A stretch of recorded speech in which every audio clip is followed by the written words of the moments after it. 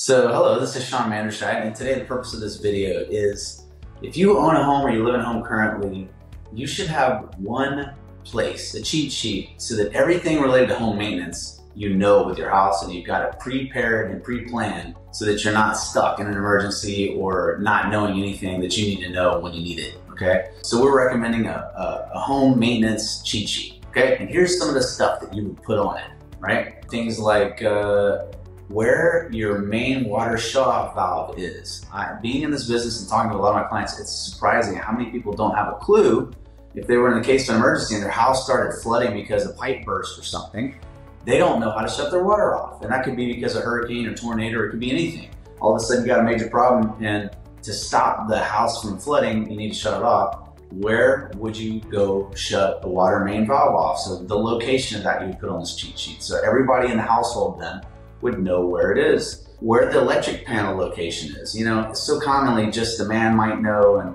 the other people in the family or his spouse may not have a clue. That way, no matter where he's at or if you can get in touch with him, everybody's on the same page with it.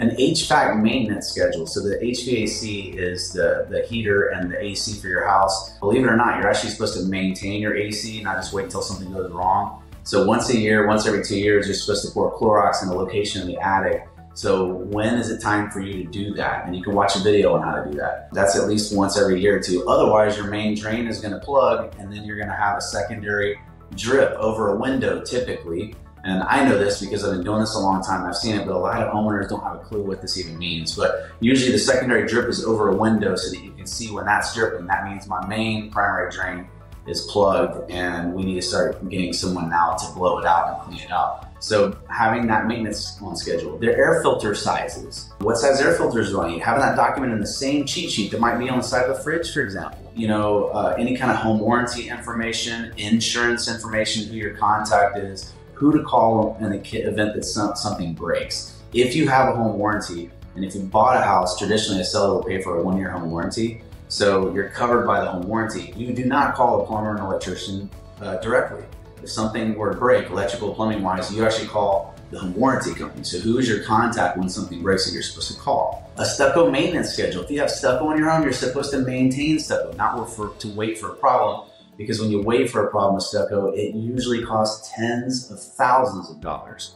Where maintenance is simply having someone go check the exterior, look for cracks on the stucco, seal it up maybe once a year, once every couple of years, at minimum once every two years to seal up any cracks so that water does not get behind the wall. Those are kind of the things you would put on this one page document that you can stick on the side of the fridge and everybody is informed uh, on the things that you need to know about your house. In the event of an emergency or just related to the latest in maintenance and all your filter sizes and everything in one location.